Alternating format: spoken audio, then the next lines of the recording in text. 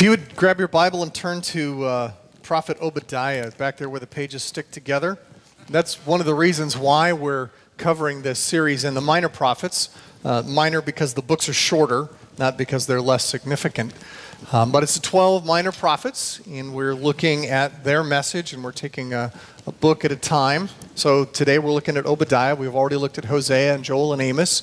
And we'll move on through this series till we finish those 12 uh, smaller prophetic books.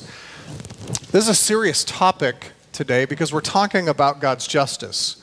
And a God who is all knowing and all powerful cannot do less than what is just.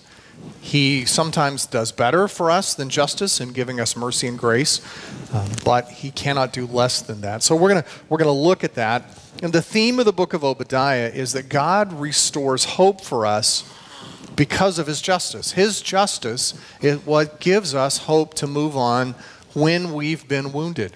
And so he speaks to the nation of Israel, and it's recorded for our benefit. The theme is picked up in the New Testament. So we're going to kind of put all of that together. How does God restore hope when we've been wounded? Well, all of us have been wounded in some way. Don't raise your hand, but. Uh, if you've been betrayed, this message is for you. If someone has taken your trust and misused it, if you look back in hindsight and you realize, I never should have trusted that person, maybe I shouldn't have trusted them with this thing, maybe I shouldn't have trusted them, period, but they used it against you, then this book speaks to your situation. Because that is the situation that the prophet Obadiah is speaking to with the people of Judah, the southern part of the kingdom of Israel. When we're betrayed, trust is a part of that. You can't be betrayed by someone you've never trusted. They could wound you, but they can't betray you. Betrayal is worse in the sense that you did trust them, and then they broke a promise, they violated something that was an obligation that they had to you. Um, it may be that you trusted someone with something close to your heart. You shared some information that was very personal with someone you thought you could trust. And then you found out that many other people heard the same thing from them, and it's become part of the gossip chain. Maybe the situation is you trusted somebody with something. You, you gave them access to money or possessions or something that was important to you, and you entrusted it to them. You expected that they would treat it as if it were important to you, and that didn't happen. You loaned them something, you gave them something, you helped them out in some way, and they just took advantage of you. They betrayed your trust. There's a spectrum of the kind of betrayal we experience. So there's smaller things where someone has misused information or misused something you entrusted to them. And then there's the shattering kinds of betrayal where trust in a marriage covenant is broken. And we're all somewhere on that spectrum. If you're past the ages of three or four, someone has misused your trust. And some are way over here where the wounds are or traumatically deep.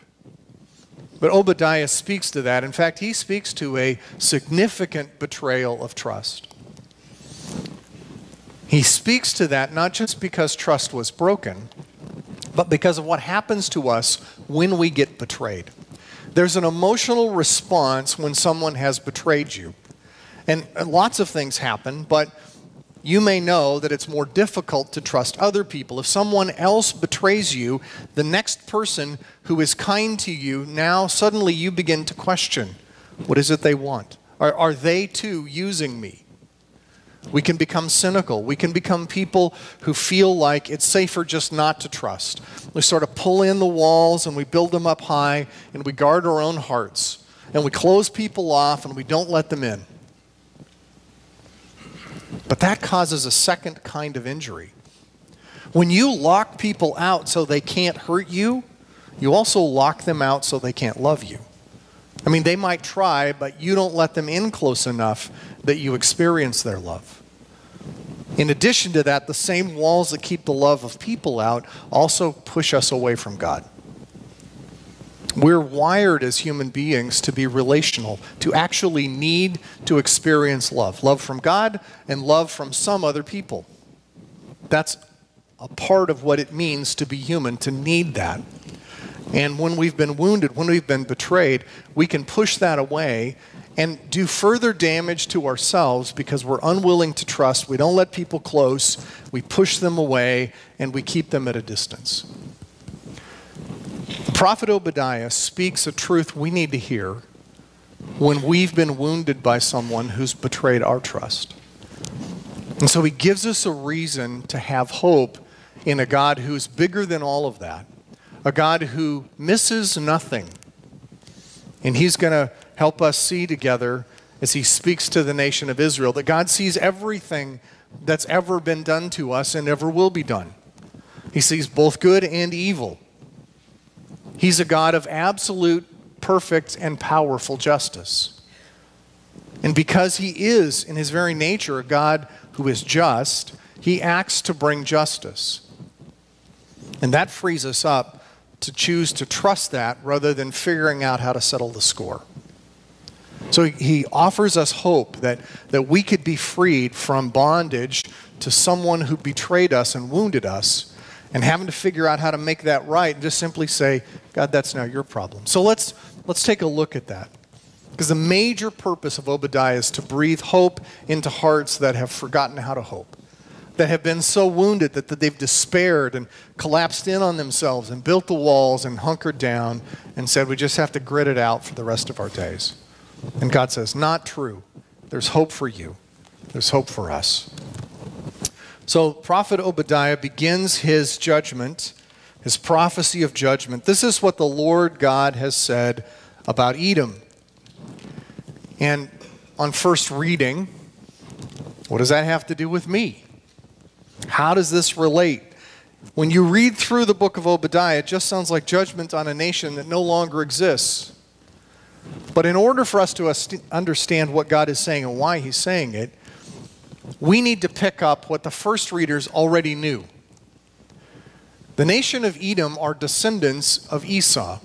So Abraham's grandsons are Jacob and Esau.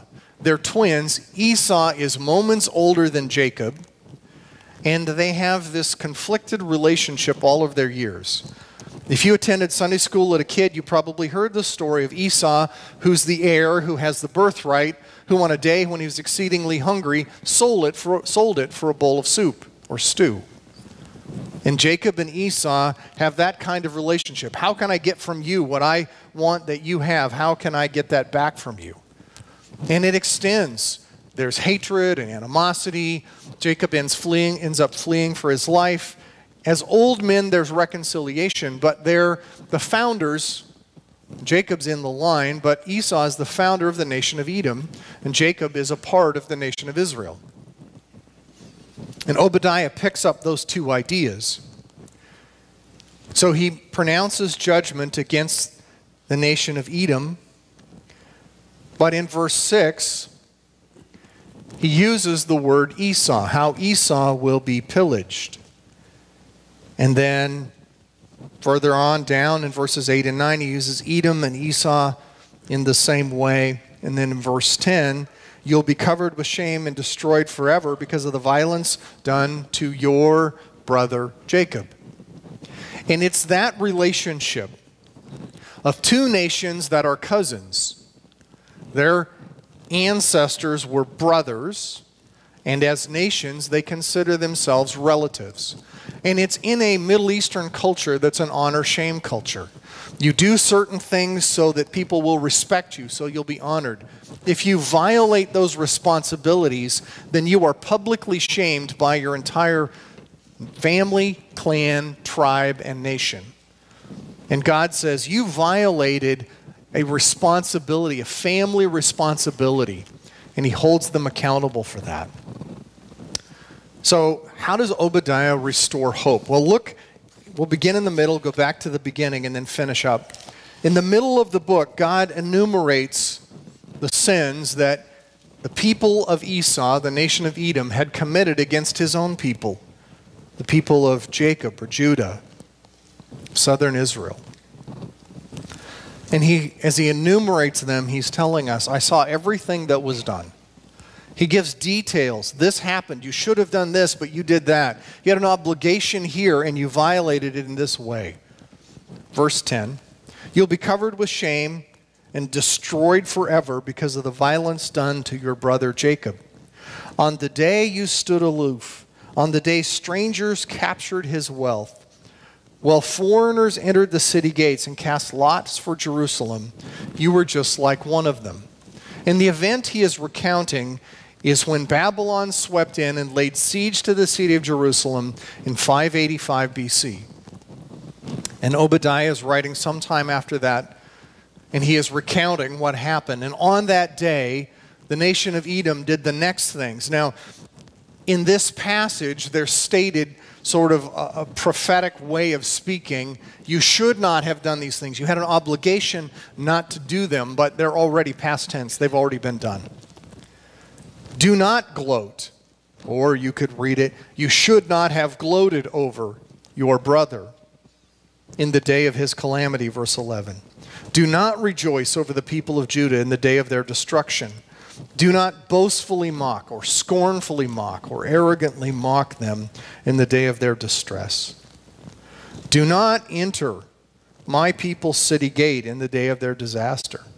Yes, you do not gloat over their misery in the day of their disaster. Do not appropriate their possessions in the day of their disaster. As Babylon swept in and laid siege to the capital, the city of Jerusalem, the Edomites, the next country over, said, Here's our chance. We can go pillage our own cousins. And they attacked other cities and broke down the walls and took possessions. They laughed and mocked at Israel's disaster but it gets worse. And here's where God's judgment is kindled against the nation of Edom. And do not, verse 14, stand at the crossroads and cut off, it's a metaphor, to kill, to murder the fugitives, the refugees. And do not hand over their survivors into slavery in the day of their distress.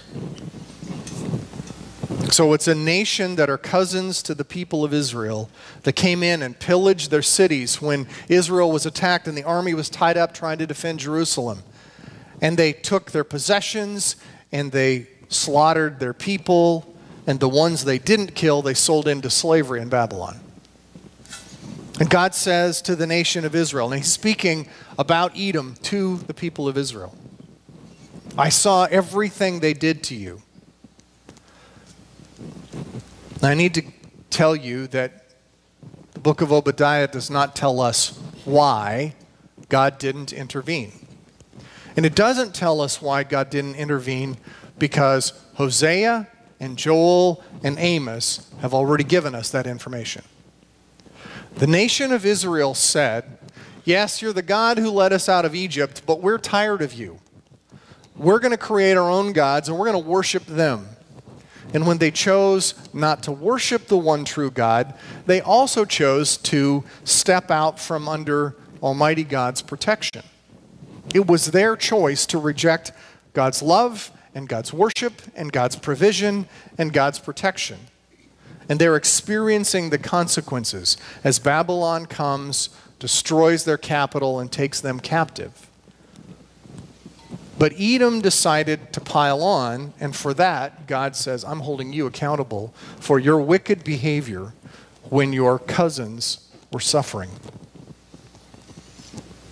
God declares, I know exactly what occurred.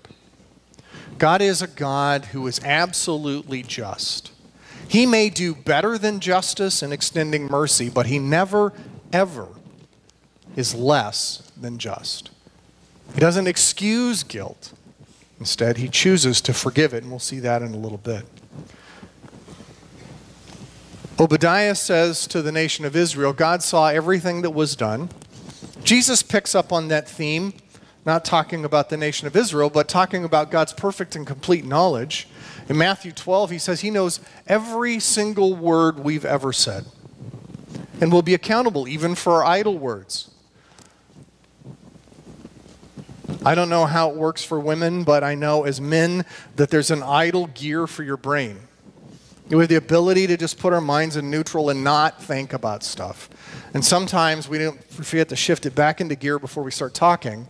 And so sometimes we end up with words that are not well considered. And God says, I hear those words, and I'll hold you accountable for those words.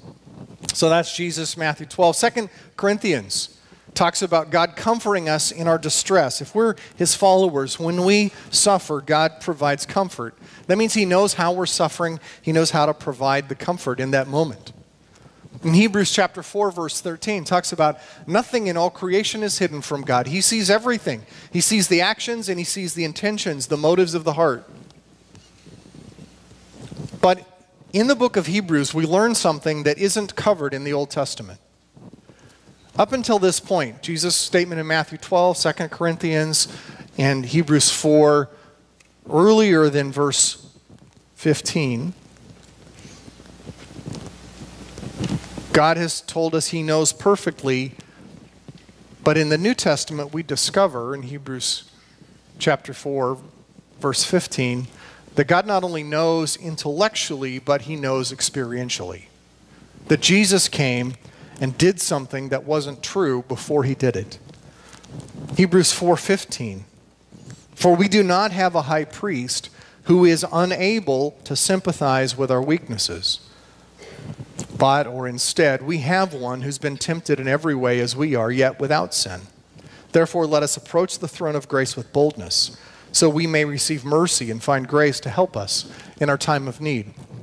And that passage tells us Jesus knows what it feels like to be hungry and tired, to work to exhaustion. He knows what it's like to be hot and too hot or too cold and to suffer. Sometimes people refer to Jesus as a carpenter, but in first century Israel, it's really a stonemason. Almost all the construction is with stone. And if you work with stone long enough, sooner or later, you're going to smash some part of your body right? That the chisel's going to fly or the, the hammer's going to bounce off of something and land on your thumb. Jesus has been there. He's experienced those kinds of everyday pains. But this passage tells us more than that. He's experienced the difficulty and the intense pressure of temptation to a greater degree than we possibly can. None of us have or ever will go toe to toe with Satan for three rounds, but Jesus did. At his weakest moment, Satan shows up to tempt him three different ways. And in none of those temptations did Jesus cave in. In addition to that, Jesus has experienced betrayal to a degree that you and I have not. Because the betrayal he experienced was pouring his life into 12 disciples and then having one of them sell him out to be crucified for the price of a slave. So God not only knows what we've experienced, but He's been there in similar situations. Now, the great news in this passage is God doesn't just say to us, I feel your pain. I know what that feels like. He goes well beyond that. He goes on to say, and I will act to bring justice where injustice was done. I will act to make right what was made wrong. God delights in mercy, but when he extends mercy, he does not violate justice. So go back to the beginning of Obadiah. He pronounces judgment on them, and the whole book is a message of judgment on the people of Edom.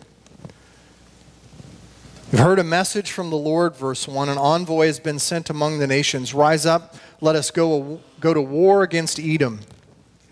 And then he gives some detail about their attitude. Verse 3 Your arrogant heart has deceived you, who lived in the clefts of the rock and made your home in the heights, who say to yourself, Who can bring us down to the ground? Though you seem to soar like an eagle and make your nest among the stars, even there I will bring you down. This is the Lord's declaration. And the nation of Edom had built their city in rock clefts and on the top of escarpments. And they felt like, we, we have this impregnable fortress. No one can conquer us. And God says, that may be true for human armies, but you're up against the creator of the universe. And the nation of Edom no longer exists. God's justice was executed on them fairly shortly after Obadiah gave the prophecy. God did execute justice on those who made themselves his enemy. Now, That's not God's heart desire. God much prefers to extend mercy. That's why Jesus came to earth. He said in John chapter 3 God loved the world so much that he sent his only one Son, referring to himself, so that no one would have to perish. No one would have to endure God's justice for eternity. Instead, we can have life that's eternal if we'll simply put our trust in him. It goes on in verse 18 to say if we've rejected the one way God has made for us to connect with himself, then we deserve what we will get. We're all guilty before God, and what we deserve is justice. What He offers is mercy if we'll simply trust in Jesus who came to save us. In the book of Obadiah, he begins with judgment on the nation of Edom. He lists exactly the evils that they did to their cousins, the people of Israel. But then in verse 15, he broadens out the lens. He zooms back and says, Actually, I'm going to bring justice on all nations. Look at that with me. For the day of the Lord is near against all nations. As you have done, it will be done to you. What you deserve will return on your own head. As you have drunk on my holy mountain, so all the nations will drink continually. They will drink and gulp down as though they had never been. They will experience God's wrath and God's judgment. Why? Because they acted against God's own people. So it starts with this specific nation of Edom, zooms out to all the nations. There will be justice for all. Obadiah restores hope because God saw the sin, the offenses that were committed, and he details them. And then he says, And I am bringing justice. And we now know that justice was complete. He erased the nation of Edom. And then he predicts one day justice will be done throughout the earth. In fact, he goes beyond that. This all powerful God will one day conclude history. So, from the nation of Edom to all the nations, to a point yet future. The end of the passage, the very last verse. Saviors, or those who are, have been saved, will ascend Mount Zion and rule over the hill country of Esau. But the kingdom will be the Lord's. And if you look carefully at the last words in that verse, you'll see that Lord is in all capitals. It's a way in our English Bibles of signaling that this is God's memorial name in the original language. In Hebrew, this is Yahweh, the one God who always exists, the God of all power and might and justice. And He and He alone will be the one who sits on the throne in Jerusalem. And now we know, because of who Jesus is and what he's done, that he will be the one who descends and sits upon the throne in Jerusalem. This is after the day of the Lord, after evil is eliminated from our experience. God himself will be the king of those who are his people. And as followers of Christ, we can be included in that. And that frees us from being people who have to settle the score now, who have to take our own revenge we're invited to do something different. We can simply entrust justice to God, and that's what forgiveness is. In the moment I say the word forgiveness, because we speak English, we have freighted into that word some ideas that do not belong in the biblical word forgiveness. Raise your hand if you've heard someone say, well, forgive and forget. Okay, those are two entirely different concepts not connected to each other. In fact, let me suggest if you could forget, you don't have to forgive. Right? If you're able to no longer remember that event and it no longer bothers you, then you, there's no need to forgive it. Just grow up and forget what was done. Somebody took the last bowl of cereal. So what? Have toast. Move on. But if you have to forgive it, it's bigger than you can forget. Forgiveness in an emotional and spiritual sense works a little bit like healing in a physical sense. A lot of us in this room have scars. I know if you're a guy, You have many of them, and you can probably remember how you got them. Hopefully, they've healed, but that scar, you can't forget that you have it. Every time you see it, it's obvious, and you can remember how you got it. It's jumping your bike across the ditch when you were eight and you didn't make it, and now you've got scars to prove it. Forgiveness heals the scar and heals the wound, but you can't forget what was done.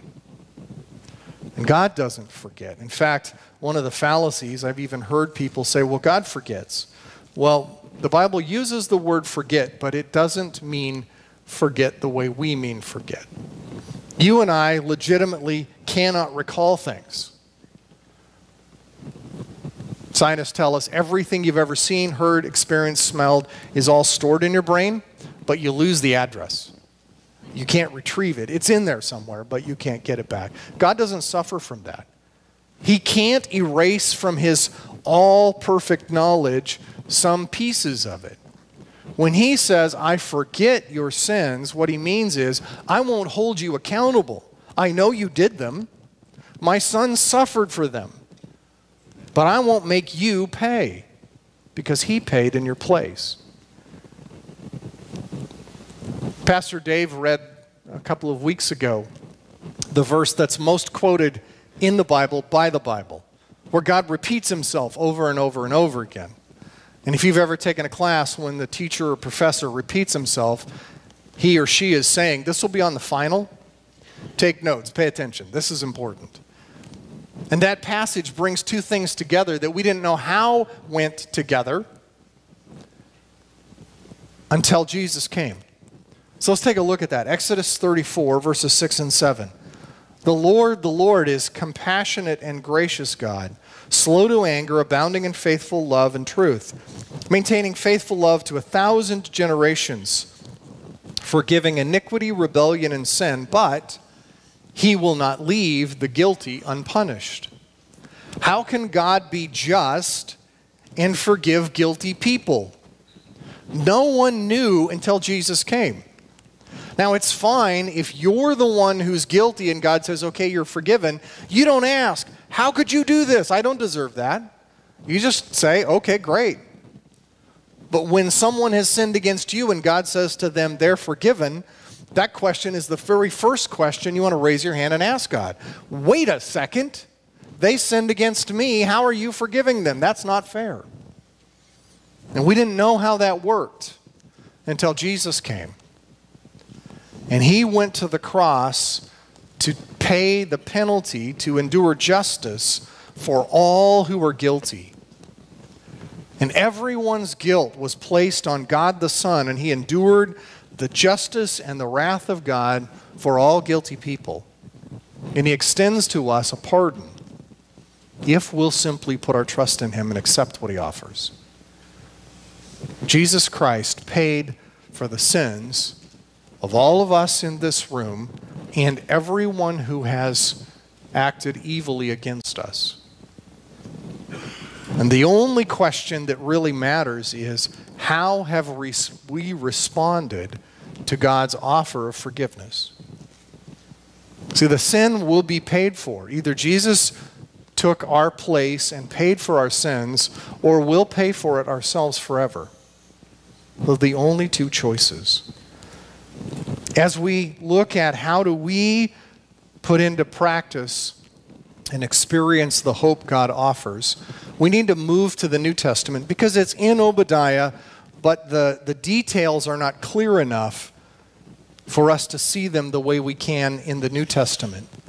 So if you would turn with me to the book of Romans, we're going to see how the hope God supplies allows us to be people who entrust justice to Him which is what forgiveness really means. In Romans chapter 12, beginning in verse 17, we read these words Do not repay anyone evil for evil. Give careful thought to do what is honorable in everyone's eyes. If possible, as far as it depends on you, live at peace with everyone. Friends, do not avenge yourselves.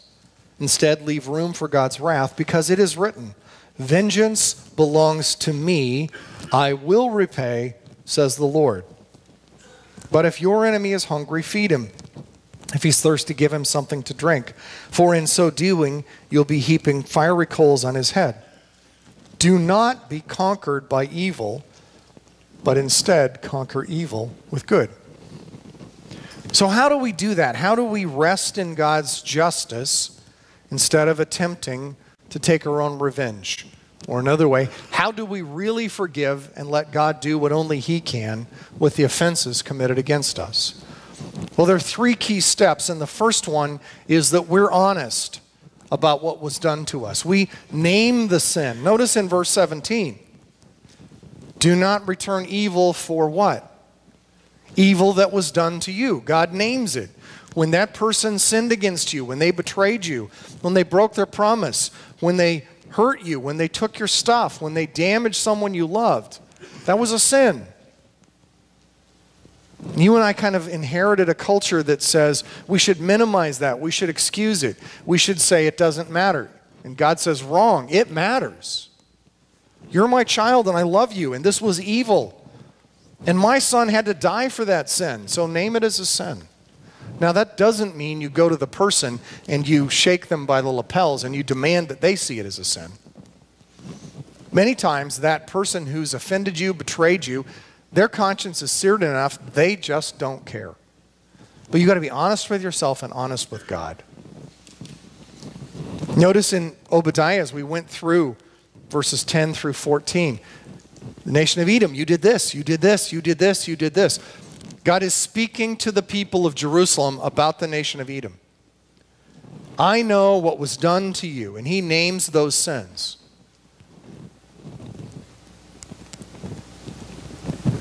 first step, really, in forgiving someone else is being honest with yourself and with God about the sin that was committed against you. God is a God who always speaks the truth. We're instructed, if we're his followers in the book of Ephesians, to speak the truth in love, to not minimize or shade or try to whitewash what was done to us.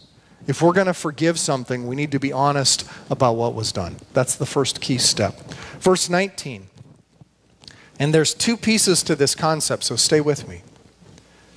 In verse 19, friends, do not avenge yourselves. He's not stopping there, but we will for a moment. As beings created in God's image, there is a, a thread within us that is a reflection of God's justice. So let's put it out there for a second. If you are a good hearted person and you see someone mistreating a child, isn't there something that rises up within you that says, that's wrong? If I could stop that, I would. That's a reflection of God's character. You see injustice being done, you see evil taking place, something within you should respond to that. That you may not be in a situation where you can do something, it may not be safe for you to do something, but God's never in those situations. So that's a reflection of God's character. When it is injustice done to us, that's still true, but sometimes it gets a little twisted by selfishness. And we want justice to be done. That's a godly thing. When we take it into our own hands, it very quickly becomes an ungodly thing.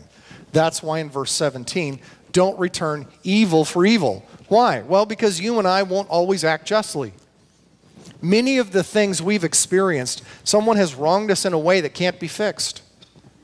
So if you entrust truth to someone and they use it as gossip, you can't undo that. I mean, how would you go around in a race, mind wipe all the people that heard the thing that shouldn't have heard it? You can't fix it. Someone damages a covenant with you, you can't undo it. There's no word unbetray. There's just things can't happen. Not only can we not undo it, if we were to settle the score, most of the time we wouldn't settle for parity. We would one up that person. You did this to me, I'm doing twice as much to you. And God knows that about us. He knows we don't have the ability to fix things that are beyond human ability to fix. And if we went to settle the score, we wouldn't settle it. We'd get into the whirlpool of a vicious cycle of, you did this to me, I'll do this back to you. Well, I'm doing more to you, and then I'll do more in response. So he just tells us don't get on that merry-go-round. Instead, and here's his promise Don't take your own revenge. Instead, leave room for God's wrath. Wrath here is an expression of God's justice. Let God take justice. Let Him be the one who settles the score and repays the evil. He goes on to say, Vengeance belongs to me. I will repay. Justice will be done. Now, he doesn't promise in every situation justice will happen 37 seconds after the offense. He doesn't promise justice will happen even in your lifetime. He doesn't promise justice will be happen the, happen the way you think it ought to happen. He simply says, Look, you can trust me. I'm a God who is always just. I never do less than justice. I may extend mercy where it's not deserved, just like I have to you. There won't be any person who stands before God in eternity who's rejected his son who can argue with God about the justice of their sentence. When you're before an infinitely knowledgeable, infinitely powerful being, and he says, Here are all the things you've done, there's the consequence. And everyone will have to say, I don't like it, but you're right. And all of us who've been forgiven because Jesus took our place, we won't say, Wait a second, you forgave someone else. We will be focused on, I don't deserve admission into heaven, but Jesus made it possible. It is not right that God the Son should have died for my sin. But because of his great love for me, he chose to do that. That'll be the one truth that overwhelms everything else we're thinking about. So, how do you, how do you put this into practice? If someone has wounded you, you need to be honest with yourself and honest with God about what was done to you. That is the first step. Don't skip that. God, you know, you saw, you observed what was done to me when this happened, when those words were said, when this action was taken, when my trust was broken. And not taking revenge has got to relinquish the right to try to settle that score. It is now your problem. And I'm pushing that onto your side of the table and I'm backing away. If you could do that one time and have it done, you probably should have just grown up and forgotten it. If you really have to forgive, it is way too big for one time to be enough. Or 20 or 50. That might be the reality in your first day of choosing to let God take responsibility. Here's how it works in practice. When you remember what was done to you, and the emotions well up because they're still fresh. You say, God, that's your problem. You saw what was done to me. It was evil. It was sinful. It was wrong. I didn't deserve that. But it's your problem. I'm going to let you handle it however you choose to. And then when you think of it again, right? God, I've taken responsibility for something I gave to you. I'm giving it back. And it may be 20 times or 50 times. In the very first day, you choose to forgive. But the day will come when you realize it's been hours now since I thought of that situation. I've begun to heal. The wound is beginning to diminish in intensity. And then pretty soon, it's been days or even weeks since I felt the pain from that betrayal that happened in my past. And one day, just maybe, as God works, it'll be years since that's affected you. When you've been wounded, when the wound heals, you'll still have a scar. You can't forget, but the pain no longer has to be fresh. And God restores hope. You can entrust justice to Him. You don't have to be someone who stays on that cycle of, I got to even the score. I can't forget. I got to figure out a way to get revenge. You just simply say, The creator of the universe said he'll handle this for me. That's his problem. So I want to pray for you because it is not easy to do. It's freeing, it's healing, it's powerful, but it isn't easy. So let me pray. Lord, you know us. You know every detail of every experience we've walked through. Lord, as we think about ways other people have wounded us, betrayed us, offended us, hurt us, abused us, Lord, I pray that you'd help us turn that over to you and experience the freedom and the hope and the healing that can come by your Spirit as you take care of whatever was done on our behalf. Lord, I pray that we'd be able to trust your justice, that we'd act in faith in that way.